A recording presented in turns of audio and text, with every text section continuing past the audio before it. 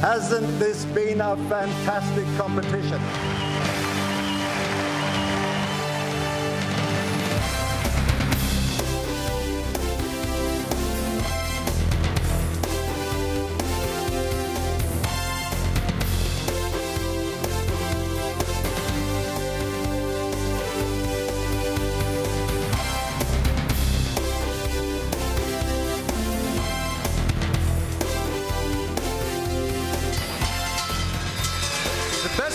Nation, and the prize is called Generali Trophy.